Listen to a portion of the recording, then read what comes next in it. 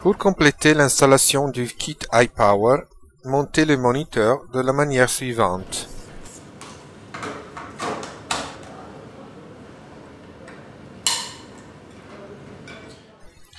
Branchez la fiche de l'alimentateur dans une prise de courant quelconque de votre habitation et l'installation est terminée.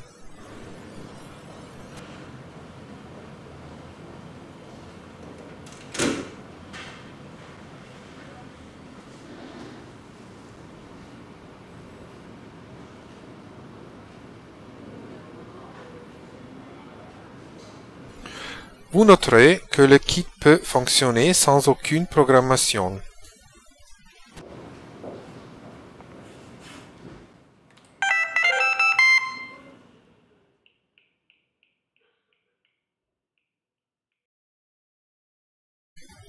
Pour plus d'informations, consultez le manuel annexé au kit ou contactez-nous directement.